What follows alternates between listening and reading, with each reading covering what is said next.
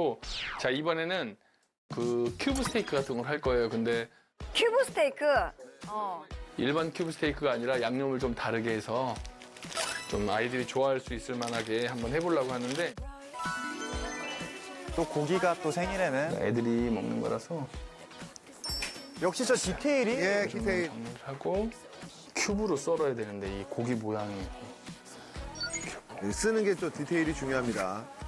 이렇게 네모나게 네, 깍둑 썰기. 이러면 애들도 먹을 맛 나지. 오케이. 자 일단 밑간을 좀 할 건데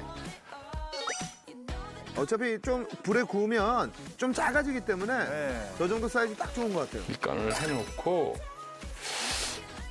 넣고 아, 어떻게 나올까요? 큐브? 어우. 어우 너무 맛있겠다. 맛있을 것 같아. 아, 진짜 맛있겠다. 야채부터 좀 썰어 놓을까? 파프리카! 노랑 파프리. 이 큐브 스테이크니까 사각형으로 고기랑 크기를 비슷하게 적양파도 있다가 큐브로 이렇게 적양파랑 파프리카는 뭐 몸에도 좋지만 레몬도, 너무 레몬도 잘 썰었고. 파리! 이걸 그대로 좀 덜어놓고 자 이제 제가 소스를 만들 건데 약간 루비빛 나게끔 해보려고 아, 루비. 루비빛. 불안불안해?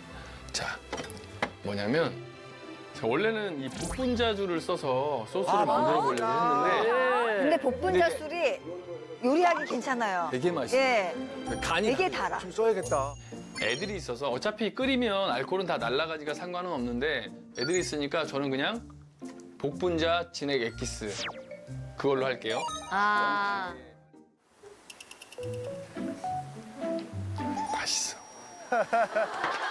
저는 이걸로 할 거예요. 그 소스 만들 때는 그 원래 고기 구웠던 고기 야채 볶았던 팬 그대로 쓰시는 게 좋을 것 같아요. 맛이 풍미도 더 좋아지고 마늘, 자 양파, 볶아 볶아.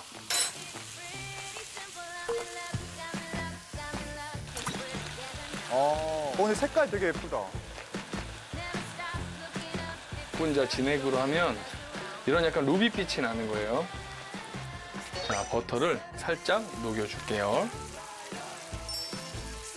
소스가 중요해요. 와 색깔 자체가 너무 예뻐요. 이, 이 색깔에 우스터 소스를 살짝만 케찹은 기호에 따랐는데 이것도 살짝 조금만 넣어야 돼요. 설탕을 이거였구나. 와. 너무 맛있어요. 어, 진짜. 우와. 고기를 볶으면 돼요. 너무 맛있겠다.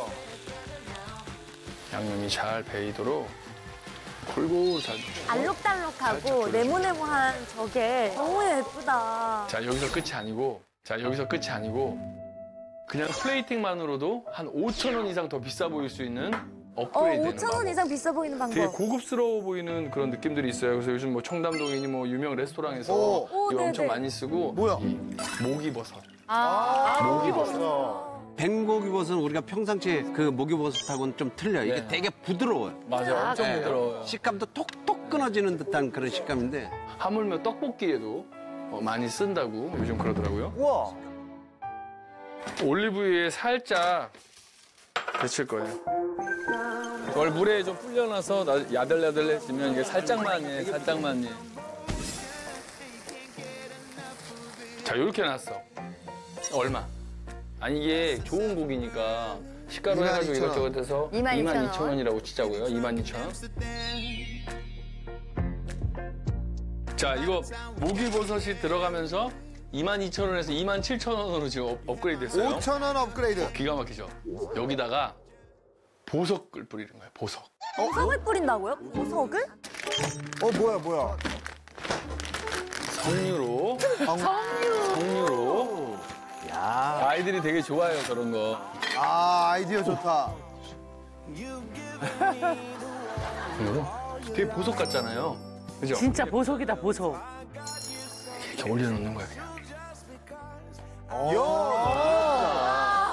오, 야. 이쁘다. 애들 좋아하기 네. 이쁘다. 어, 색깔 너무 예뻐요.